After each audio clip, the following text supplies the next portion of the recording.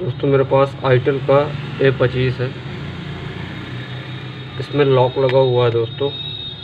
तो इसका लॉक कैसे अनलॉक करना है, वो तो मैं आपको इस वीडियो में बताऊँगा। तो दोस्तों सिंपली जो है आपको power button plus volume down button को जो है प्रेस करना है, ठीक है? वैल्यूम और डाउन बटन प्रेस करके रखना है।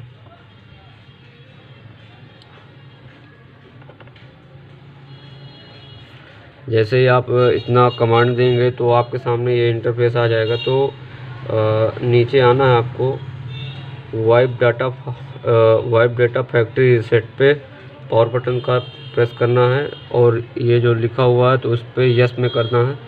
ये पूरा रिसेट हो जाएगा दोस्तों।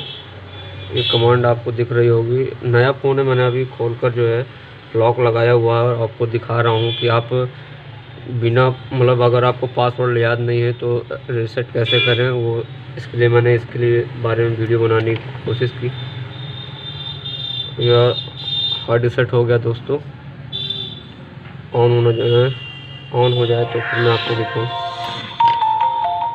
थोड़ा टाइम लेगा।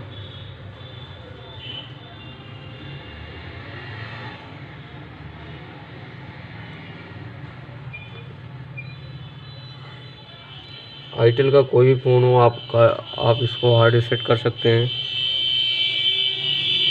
एफ़ आर पी लाख के लिए जो है दोस्तों, मेरा नेक्स्ट वीडियो होगा। मेरे चैनल को सब्सक्राइब कर लीजिएगा। अगर आपको एफ़ आर पी बाईपास देखना है इसका तो मैं इसका एफ़ आर पी बाईपास भी करके जो है वीडियो बना के डालूँगा। तो मेरे वीडियो को फॉलो कर लीजिएगा और मेरे चैनल को सब्सक्राइब कर लीजिएगा ताकि आपको जो है मेरी वीडियो नोटिफिकेशन के माध्यम से मिलती रहे।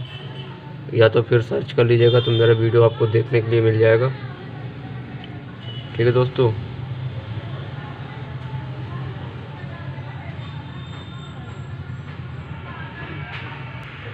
दोस्तों, मैंने वीडियो पोस्ट कर दिया था क्योंकि ये काफ़ी टाइम लगाता है ऑन होने पे। तो ये देखिए दोस्तों, लॉक इसका अनलॉक हो गया है।